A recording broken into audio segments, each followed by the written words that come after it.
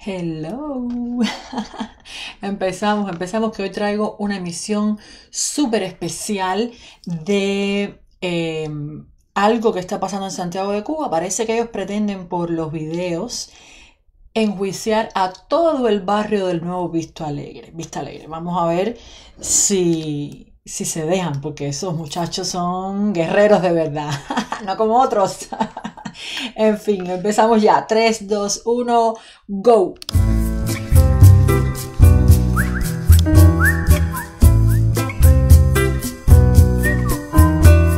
Despierta Cuba, despierta Cuba ya. Suscríbete. Despierta Cuba, despierta Cuba ya. Chico, despiértate. Mira que ya amaneció.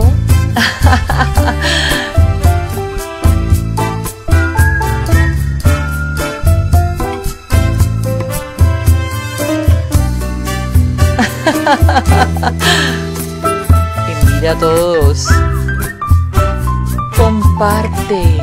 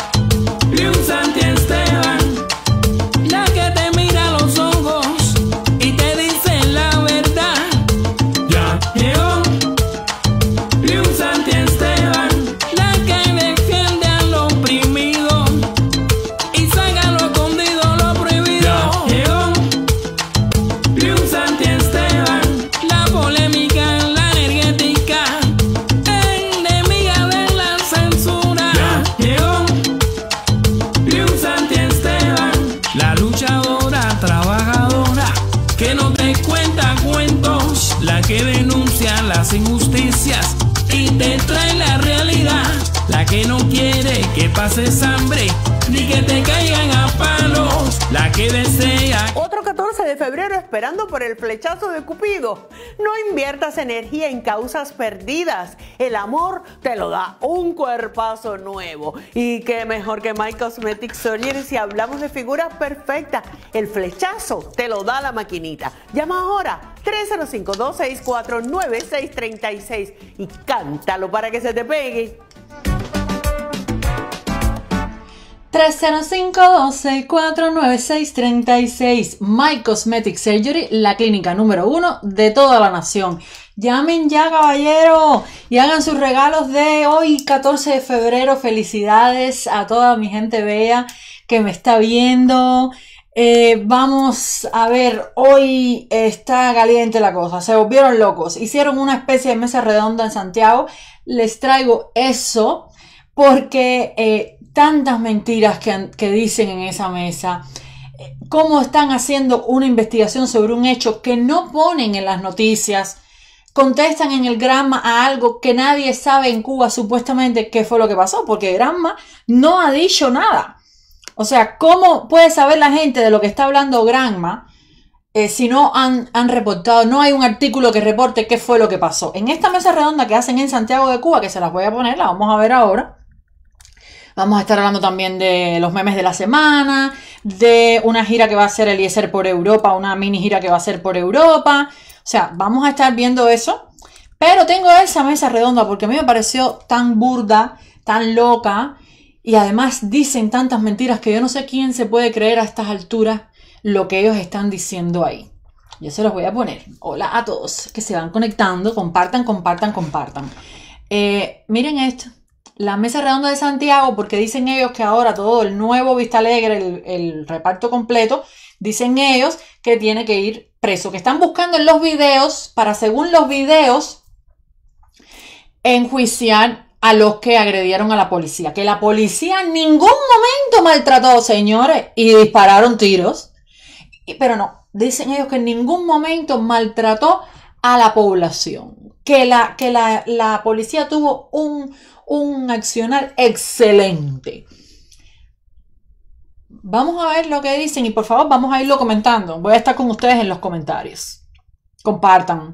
Tras conocerse tan lamentable incidente, la menor fue asistida en una institución hospitalaria donde se atendió con prontitud y actualmente su vida se encuentra fuera de peligro. El comisor del delito ya confesó. Se encuentra a disposición de la justicia y dada la gravedad de tan atroz acto, sin dudas caerá sobre él todo el peso de la ley. Según informan fuentes oficiales, luego de perpetrar el hecho y al merodear por áreas del bloque J del distrito José Martí, fue identificado siendo objeto de persecución por parte de varias personas. Este momento de gran sensibilidad fue aprovechada por elementos inescrupulosos y oportunistas que valiéndose del rechazo popular convirtieron el hecho evidente de alteración del orden público. Sin dudas, el suceso resulta repudiable y es comprensible que suscite la indignación de nuestro pueblo, educado por la revolución en sólidos principios martianos y fidelistas, donde las niñas, los niños y los adolescentes todos constituyen prioridad máxima para el Estado y el gobierno cubanos.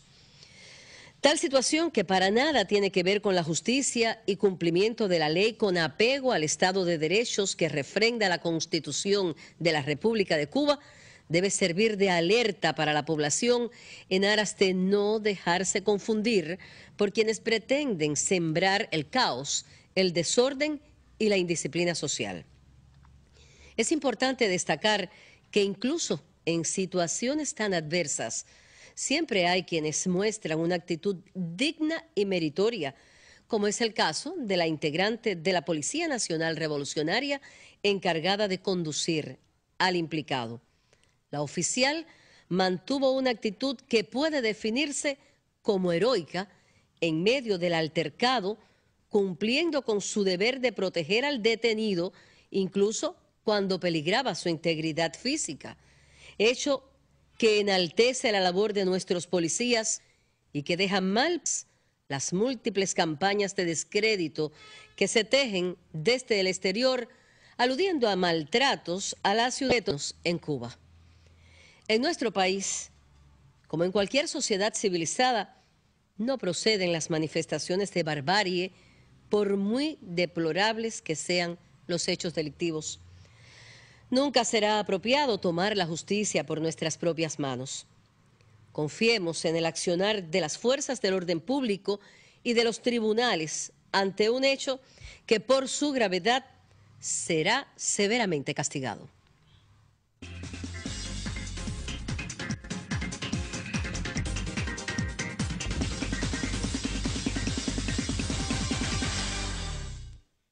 Y para profundizar en este tema, cuento en el estudio con varios especialistas. Entre ellos se encuentra el teniente coronel Leonardo Castillo Domínguez, jefe del órgano de investigación criminal del Ministerio del Interior en Santiago de Cuba. Buenas tardes, teniente coronel.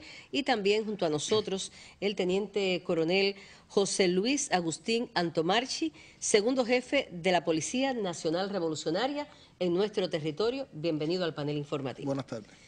Buenas tardes. Hay otros invitados, con todos vamos a conversar y usted manténgase con nosotros hasta el final.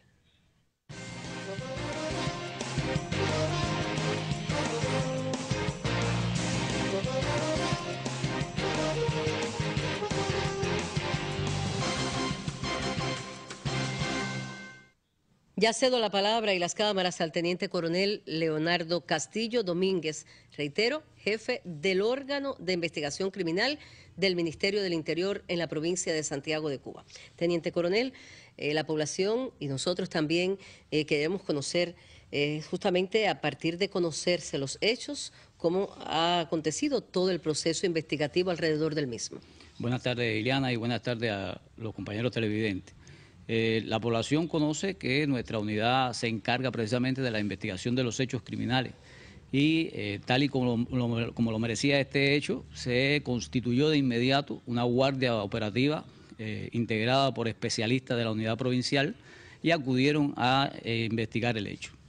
Se realizaron todas las acciones de intrusión previstas para la determinación del autor de estos hechos. Y es así como se conoce que el autor era el individuo que ya usted refirió su nombre en la nota informativa y se procedió entonces a la localización del para la ubicación de esta ciudad, población que ya conocía del hecho, migrante que, precisamente lo, lo asesoró en las inmediaciones del bloque J. Y bueno, eh, salieron en, su persecución. No obstante, eh, eh, la actuación de la policía evitó que se produjeran otros hechos y la investigación ha ido demostrando la participación de este individuo en este hecho tan denigrante que trajo como consecuencia que la niña tuviera que ser eh, hospitalizada, fue atendida por nuestros galenos y bueno, tal y como se decía en la nota, hoy se encuentra fuera de peligro. Como decía, el individuo se encuentra ya detenido en, nuestra unidad y bueno, continúa el proceso investigativo que llevará a un aseguramiento de este acusado hasta la vista del juicio oral.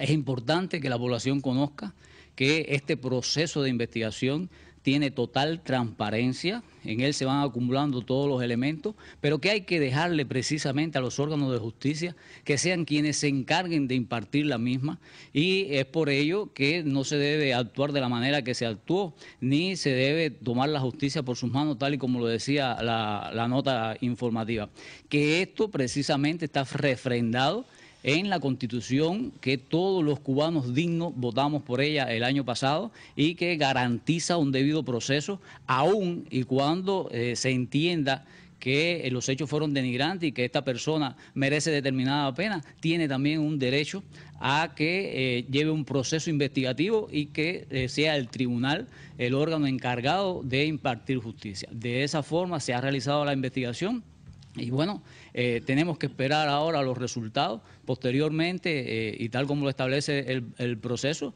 eh, este pasará al, fiscal correspondiente, el que lo presentará ante el tribunal para que el mismo dicte sentencia. Muchísimas gracias, Teniente Coronel. Seguimos juntos. Gracias.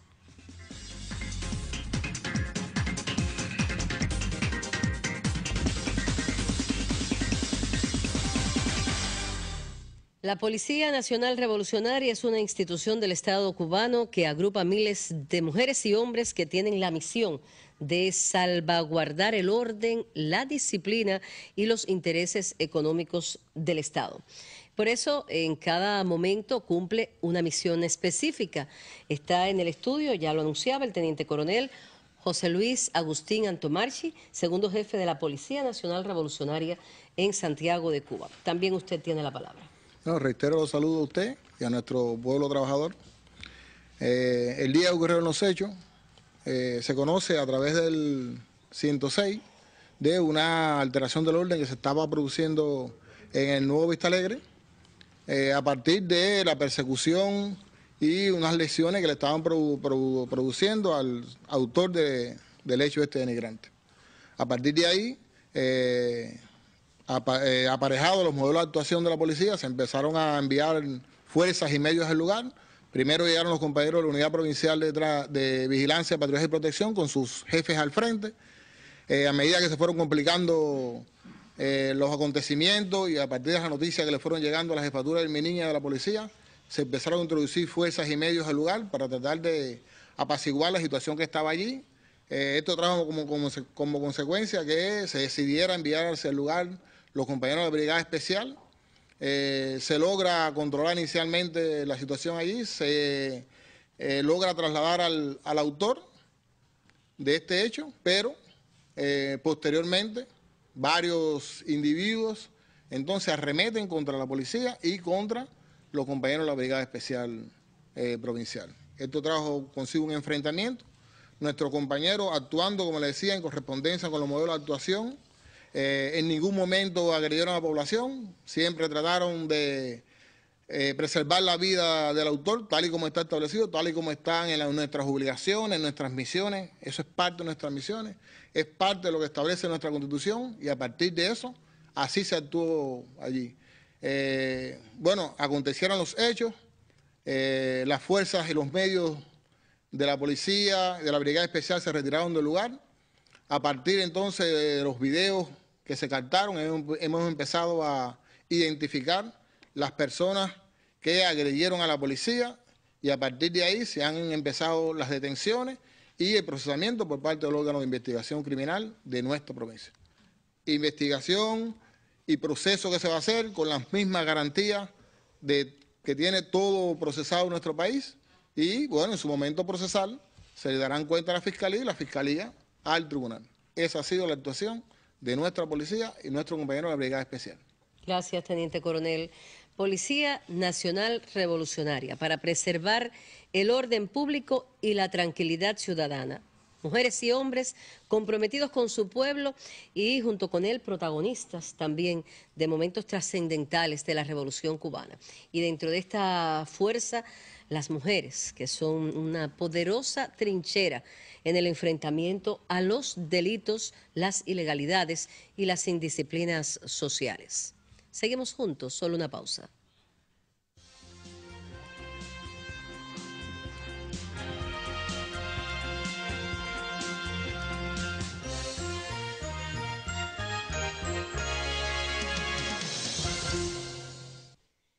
Y ahora le voy a ceder la palabra al fiscal del Departamento de Procesos Penales de la Fiscalía Provincial, el máster en ciencias, Rolando Reyes Speck.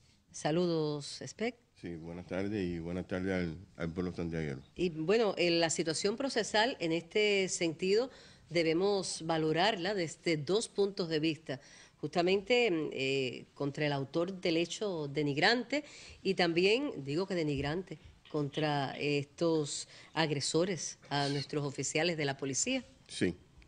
El, como ya se ha dicho, eh, toda persona que cometa un delito, por aberrante que parezca o que sea, eh, las leyes establecen garantías procesales para llevar efecto. Estamos hablando de lo que se conoce en, en procesos penales como la, el, el, cuidado, la protección, el debido proceso que toda persona implicada en un delito o que se le acusa de ello.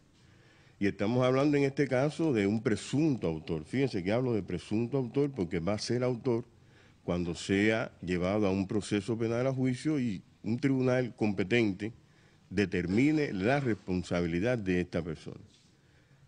¿En qué momento estamos? Bueno, el, el, órgano de instrucción está haciendo las investigaciones preliminares, acumulando el proceso, todo el proceso probatorio, para después eh, disponer la, una medida cautelar y que continúe el proceso hasta culminar con la vista del juicio oral. En otro orden de cosas, como principio procesal, el principio de legalidad, en todo hecho que emane y que surjan otras tipicidades delictivas, está obligado, en correspondencia con el sistema de procesal que tenemos en el país, de investigarlo. En este caso estamos haciendo esa referencia porque estas personas que, aprovechándose de la circunstancia, del estado del pueblo, que lo comprendemos, agredieron a las fuerzas del orden público que fueron allí necesariamente a salvaguardar la integridad corporal de esta persona y a proteger la tranquilidad ciudadana. Como ya se ha expresado anteriormente, se están haciendo las investigaciones preliminares y estas personas que aprovechándose de esta circunstancia coyuntural se presentarán a la Fiscalía y se determinará en correspondencia con la gravedad y la participación de estos en los hechos. Muchísimas gracias, fiscal. Yo le invito a una pausa y enseguida conversamos con otra invitada.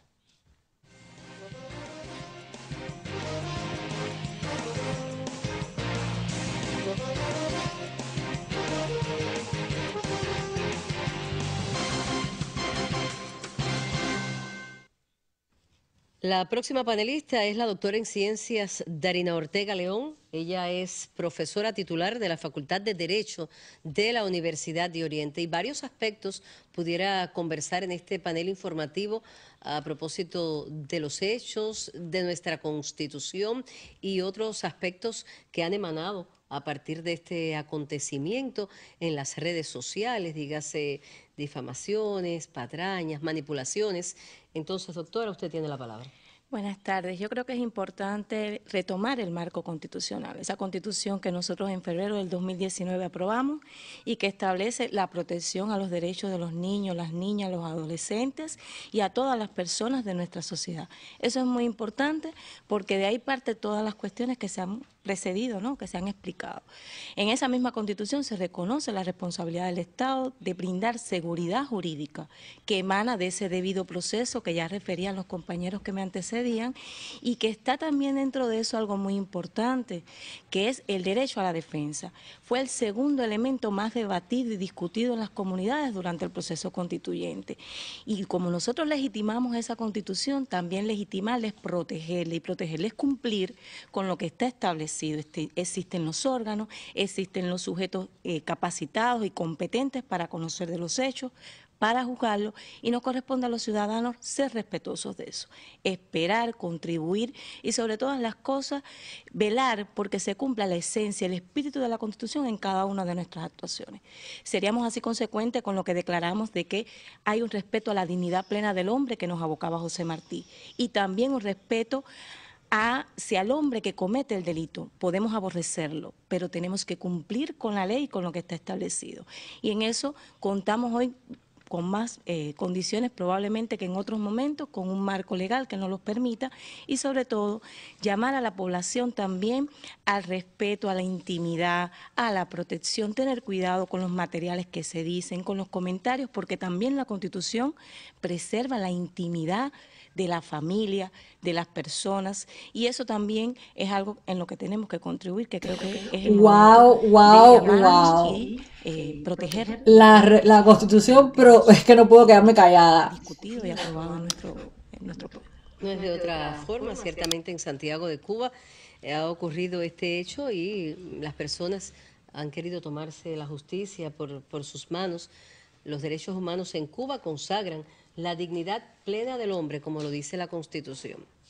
También es importante retomar un tema que este gran... Los derechos humanos en Cuba consagran el, el, el ¿qué dijo? ¿Qué fue?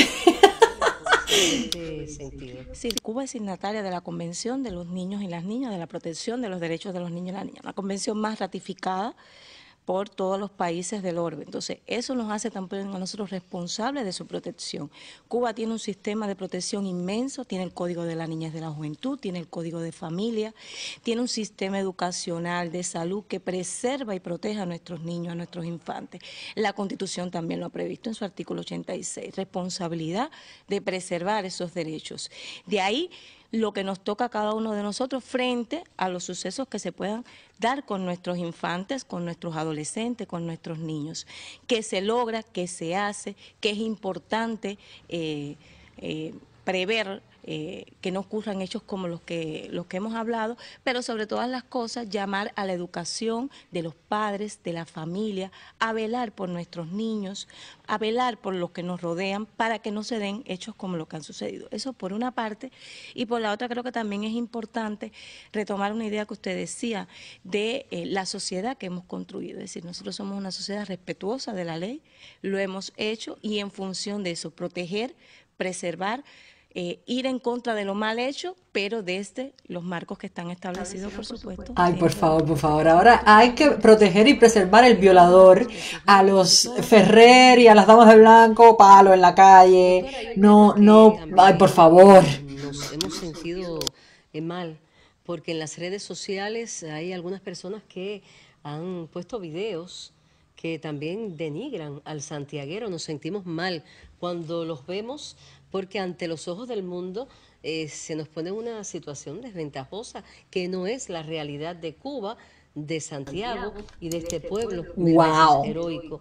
¿Qué piensa usted al respecto? Por supuesto, la tecnología, el desarrollo de los medios de comunicación masiva nos ha puesto eh, un reto importante, el derecho a proteger, es decir, a, la información, a brindar información, pero eso tiene límites, que hay que respetar la imagen, hay que respetar la integridad, la intimidad de las personas y sobre todo ser muy cuidadosos con los materiales que se emiten. Es muy desagradable que la población santiaguera se haya visto expuesta, digámoslo de alguna manera, en las redes sociales, como eh, eh, de la manera que, que, que se presentó porque eso va en contra de lo que precisamente nosotros estamos defendiendo como proyecto social. Si tomar la justicia por su propia mano es propio de las sociedades de la barbarie, de la antigüedad que están superadas rebasadas con creces por la humanidad y más por nuestro Estado y más por nuestra sociedad, y más por la sociedad santiaguera, alegre, dinámica, eh, patriótica, revolucionaria, aguerrida, pero respetuosa también de la legalidad. Entonces es importante también un llamado a no hacer el juego a, estas, a estos eh, elementos que puedan provocar incluso un daño a la imagen de las personas y llamar también a la población a tener mucho cuidado con las cosas que se, que se suben a las redes, los comentarios, porque a veces están en un contexto, son dañinos y tenemos que eh, evitar dañar. Wow, cállense, no publiquen, no video, no comente, cállese la boca. Igual que hay algunas personas inescrupulosas que se han aprovechado de esta situación en las redes sociales a partir de este repudiable hecho, eh, dando descréditos a las campañas que se han tejido desde el exterior. Muchas otras personas dignas han estado combatiéndolo. Así que eh, desde aquí también llegue nuevamente en la realidad. La verdad es como la luz. Por mucho que la traten de esconder, brota. Con esa sentencia nos despedimos de este panel informativo especial correspondiente a este jueves 13 de febrero. Buenas tardes.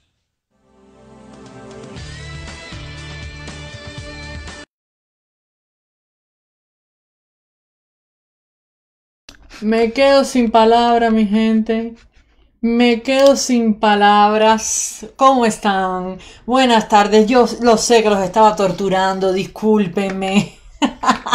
Yo sé que ha sido duro, pero es que me pareció tan absurdo esto, tan mentirosos que son, tan faltos de respeto.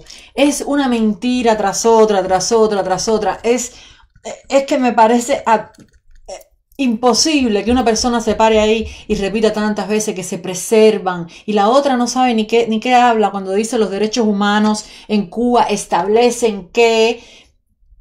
¿Qué establecen los derechos humanos, mi amor? Los derechos humanos no establecen nada, los derechos humanos son unos derechos que en Cuba no se respetan. Libertad de movimiento, libertad de expresión. Cuando esa mujer se ha parado ahí ha dicho, no publiquen, tienen que tener cuidado con lo que publican. Y la otra dice que esos videos no reflejan al santiaguero, que está preocupada por la imagen que están dando al mundo los santiagueros. Bueno, efectivamente hay un grupo de santiagueros que le está disparando a otro grupo de santiagueros. Esa es una imagen bien fea. Lo, más increíble de todo esto es que ellos están hablando sobre esto que sucedió. Han hecho una mesa redonda en Santiago, pero no han puesto en la televisión cubana en ningún momento estas imágenes. Y el teniente coronel que aparece ahí tiene la cara tan dura de decir que eh, ellos van a agredir, por, a, llevar a fiscalía por los videos a, a, las personas que agredieron a la policía. Bueno, y a los policías que agredieron a las personas, por los videos también se puede sacar y enjuiciar, ¿no? Digo yo. Vamos a ver qué dicen ustedes, porque eso está caliente. Ay, tengo los memes, debería ponerlos. Un momentico, un momentico. Dice Kikito, felicidades Liu por el Día del Amor y la Amistad. Gracias. Creo que la única cosa que ha dicho la verdad es la última. La verdad al final saldrá a la luz. Así mismo es. Voy a pinear ese comentario. Mira, por fin puedo pinear comentarios otra vez. Espérate. Lida Piedra dice, así decimos nosotros, la verdad es como la luz. Asimismo, Josué dice abajo la piedra Raúl y Canela, Yaya Marrón, ah, pero que amenazas muy dulces. Efectivamente, no les gusta que la verdad salga a la luz, dice Pablo, Pablo Zavala. Josué dice, Liu, abajo la piedra, Raúl y Canela, le estamos dando por donde les gusta el internet. Así mismo es. ¿Ustedes saben por qué está pasando esto? Porque eh, eh, ellos saben que esto se volvió viral. Se volvió viral. Miles de cubanos están pasándose eso de teléfono en teléfono y están viendo lo que sucedió. Y por mucho que ellos se ahora se paren ahí con su cara tan dura a decir que eh, los policías no maltrataron en ningún momento a la población. Tenemos las imágenes de los policías disparando a la población. ¿Entiendes? Entonces, por favor, no se paren ahí a decir eso porque hay que ponerle entonces la, imagen, ¿entiendes? El contraste. Vamos a entrar rapidito en los memes. Ah, espérate, que no leía los que están por acá. Dice Leticia Méndez. Qué cara, no tengo mis gafas, no veo nada. Qué cara más dura, por Dios, mentira tras mentira. Asimismo, Rafael Tejada dice, mentiras son unos abusadores, fuera los castros comunistas. Dice Neri Román, son tía Tata toda la vida con sus mentiras. Así mismo es. Rafael Tejada dice, mentiras son unos abusadores fuera los Castro comunistas. Ah, ya se lo leí. Espérate. Susi Borges dice, es indignante oír a una mujer cubana hablando tan fríamente sobre una situación tan delicada. Así mismo es. Eh, ¿Qué habla esta gente? Dice Julio Abreu. Yo me quedé con la boca abierta.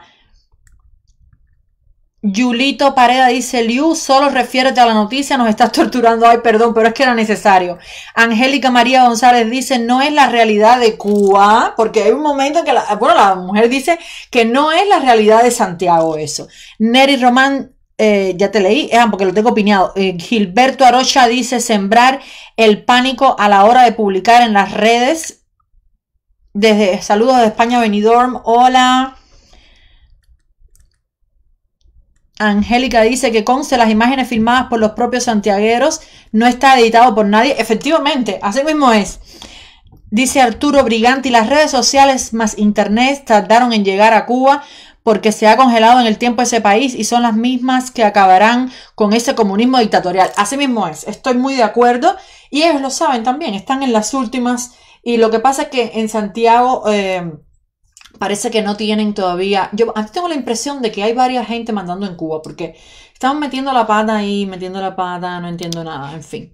Porque hay que tener la cara dura para pararse ahí y decir que la constitución protege, señores. Yo, esta señora que he estado poniendo, la viejita, que he estado poniendo todo el tiempo en contraparte a las mentiras que ellos han estado diciendo, es la viejita de 97 años que fue desalojada de su casa porque eh, su nieto, según la policía, tiene eh, negocios ilícitos y por tanto hay que quitarle la casa. No entiendo por qué, porque ella no tiene los negocios ilícitos, ella no está juzgada, es una señora desamparada que han soltado para la calle.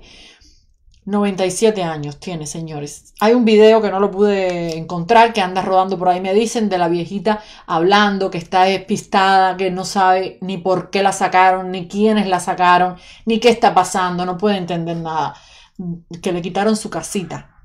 Eso, eso es algo que, que, que es devastador, que es cruel que estén haciendo eso.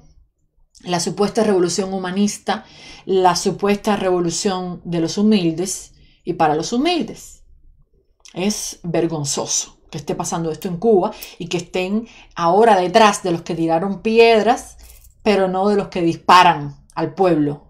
Ah, lo que pasó en Santiago no es más que una muestra de que la gente en Cuba está cansada.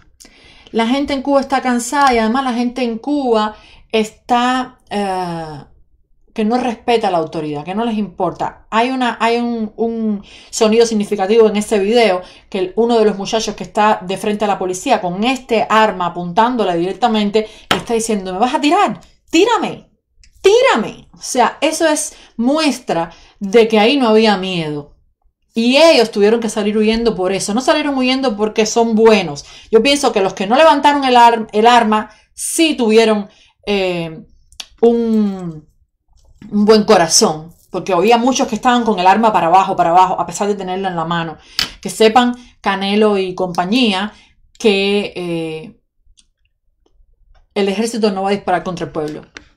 No va a disparar contra el pueblo. El ejército se va a retirar, porque el ejército es pueblo y está con nosotros. Y está contra ustedes, que los han machacado también por años. Y yo conozco coroneles que han tenido que robar para poder vivir mi vida y que han tenido que, que, comprar una moto a nombre de otra persona por tal de tener un transporte. Así que todos ellos van a salir echando en el momento de la verdad, no van a reprimir al pueblo, eso es mentira. Y hoy fue un día muy, hoy es un día tan especial, tan feliz para mí. Porque, ay, no puedo decirles por qué, pero muy especial. Estoy muy feliz porque no hay nada mejor que un día detrás de otro. Vamos aquí Vamos aquí a esto porque eh, tenemos que, que, poner esto porque eh, vamos a ver los memes de la semana. Los memes de la semana que cuentan un poquito las noticias eh, en un modo jocoso. Y a mí me gusta que hablemos sobre esto y además nos divirtamos. Me encantó este meme que se refiere al impeachment, y a la Pelosi y a Trump y a todo eso. Y dice, Trump llega con la pizza y dice, Did you order the impeachment special, Nancy? ¿Ordenaste el, especial impeachment, Nancy? Dice así. Y él le dice, bueno, pues te va a costar 2020. Quiero decir que les va a costar las elecciones y eso es una gran verdad. Me encantó ese meme. Este otro estaba magnífico. Dice, ¿cómo se llaman los organismos que viven a costa de otros? Dice el gato, parásitos. Dice ella, ¿y por qué pusiste socialistas? ese está muy bueno. Me encantó. Este está magnífico de Cascabel y Latio. Dice, tu cara cuando te preguntan qué piensas de los precios de los carros en Cuba. Caballero, 200 mil dólares por un carro y no hay jabón en Cuba. No hay aseo, pero hay carro. Ya hice un video sobre eso, está en mi canal de YouTube y en mi página de Facebook. Ah, tu cara cuando te preguntan si el jabón que tienes te va a alcanzar hasta abril, esto les va a costar a ellos la revolución. Eh, la dictadura se va a caer por el jabón. Acuérdense lo que les estoy diciendo. Se va a caer por el jabón. Ah, ¡Oh, me encanta este! Este es de los memes de Luis. Dice, un, dos, tres, duchita. Porque ha habido una controversia tremenda con Osmani, uh, con Osmani García, que ha hecho unos videos espantosos. Dios mío, ese muchacho, alguien debería amarrarlo con una camisa de fuerza y llevarlo a desintoxicarse. Alguien que lo ame. Pero pasa que los drogadictos, lamentablemente, eh, si no se quieren desintoxicar, es muy complicado. Y como este muchacho es mayor de edad, los padres no lo pueden obligar a desintoxicarse. Esto es muy complicado porque nadie lo puede ayudar si él no decide que tocó fondo y que quiere eh, rehabilitarse realmente. Es muy complicado. Dice, fu, fu, fuego con la aldea. Porque ese fue el, ¿cómo se llama? El de eso que sacó, una canción supuestamente que sacó de, contra Aldo, el, el aldeano. Esto me recordó a los muñequitos aquellos, Pepe, mira a tu hijo. ¿Ustedes se acuerdan de eso? Oh, este es muy bueno. Este es muy bueno. Este se refiere, dice, vuela, vuela alto con Swift Air. Y es un cacharro en el aire. Porque hay dos vuelos de Swift Air eh, charters que viajando al oriente del país eh, han tenido que regresar al aeropuerto porque se ha descompresurizado la, la, cabina, no sé bien, han salido las mascarillas. Incluso hay algunas, algunos eh, pasajeros que dicen que las, mascarillas no funcionaban. Eh, tremendo problema. Yo de verdad les, les, les, digo, mi gente, que no viajen en charters. Si pueden, si tienen que viajar, pues vayan en aerolíneas porque qué peligro por tu madre, eso está a punto de caerse, Dios no lo quiera, Dios, que mi boca, mm, borremos, delete, delete, borra, borra, pero para todo parece indicar que en cualquier momento se va a caer un avión, porque es que están volando en cacharros, caballero, cacharros directamente. Bueno, esto es eh, lo que tengo. Antes de irme, quiero decirles que Eliezer Ávila va a estar en una mini gira por Europa. Va a estar, me parece que mañana en Alemania, en Berlín, y el domingo estará en Madrid, si no me equivoco. Ahora él lo explica bien, tengo un videito para que ustedes lo vean. Pero bueno, les digo a toda la gente que está por Madrid y por Berlín, porque vaya por ahí, porque va a estar además con Carlito Madrid, el youtuber, y con Juan Juan Almeida. Tengo por aquí el videito de Eliezer. Un pero, pero un momento porque no se ve, tengo que quitar los memes. Aquí está. Un saludo a todos. Mi nombre es Eliezer Ávila y presido el movimiento político Somos Más. Ha sido un viejo anhelo reunirnos con la comunidad de migrados cubanos en Europa. Ese sueño se va a hacer realidad dentro de unos pocos días. El día 15 de febrero estaremos reuniéndonos en Berlín a las 6 de la tarde y el día 16 lo haremos en Madrid, acompañado además de otros influencers que han marcado un espacio en estos últimos tiempos de la realidad política y el debate cubanos. Me refiero a Carlito Madrid, Juan Juan Almeida y ojalá puedan acompañarnos también varios invitados intelectuales, artistas. Creemos que este momento es excepcional y está comprobado que cuando estamos juntos, cuando tenemos el mismo nivel de amor, de compromiso y de solidaridad para con nuestras familias y con el futuro de Cuba, podremos lograr grandes cosas. Convencido de esto, los invito a participar el 15 y el 16 en nuestros encuentros y así dar un paso más, un empujón en este año que nos hemos propuesto, que el 2020 sea el año de la libertad definitiva de nuestro país. Porque el cambio es ya. El cambio es ya, sí señor. Bueno, pues ya saben, vayan a uh, ver a Eliezer Ávila en Madrid y en Berlín. Creo que Berlín es mañana y, Madrid el domingo. Eh, pueden pasar por la página eh, de, de Eliezer Ávila en Facebook, que ahí están los detalles de, de los eventos, dónde, en qué lugar específicamente, a qué hora. Pasen por ahí porque... Eh, promete estar muy interesante, muy interesante. Así que nada, veo gente aquí diciendo cosas que, por ejemplo, que, que los videos no deberían ponerse, porque eh, los videos que él lo había dicho, que... Voy a ponerme para acá. Que él lo había dicho, que iban a coger los videos para enjuiciar a la gente, que esos videos no ayudan. Pero es que imagínate tú, es importante poner esos videos. Fíjate si es importante que ellos han tenido que salir a hablar sobre los videos. Fíjate si es importante. Y además es importante que la gente vea eh, que hay eh, abuso y, una irresponsabilidad muy grande por parte de la policía, porque además es muy significativo que a Ferrer, José Daniel Ferrer, esté preso hace tres meses eh, sin ningún tipo de garantía, sin ningún tipo de, de debido proceso, se ha violado todo, el habeas corpus se ha pedido varias veces, se lo han negado, han cogido varias veces presos a la esposa, han hecho varios asaltos a las casas de los dirigentes de un Paco, como a, Carlos Amel Oliva, como Cata, como uh, otros en La Habana también, en Santiago. Y entonces al violador mandan un ejército para protegerlo. Fíjate la diferencia, fíjate a qué se refieren ellos cuando hablan de preservar y de, y de ayudar y todo eso a, a, la población, ¿no? Cuando hablan de derechos, el violador tiene derechos. Derecho a un debido proceso, aunque sea un horror lo que haya hecho. Y entonces el, opositor que eh, no ha hecho nada malo, no ha cometido ningún delito, ese no tiene derechos. No tiene ningún derecho a ningún tipo de proceso.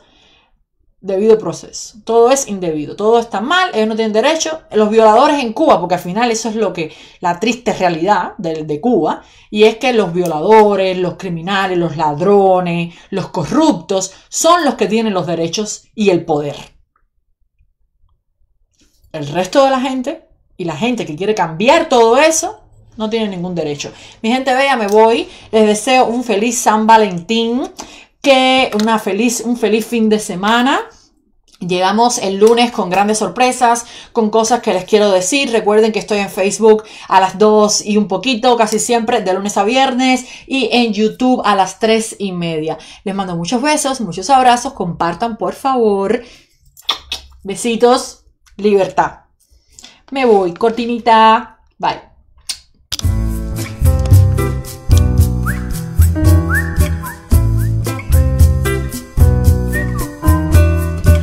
Despierta Cuba, despierta Cuba ya. Suscríbete. Despierta Cuba, despierta Cuba ya. Oye chico, despiértate. Mira que ya amaneció.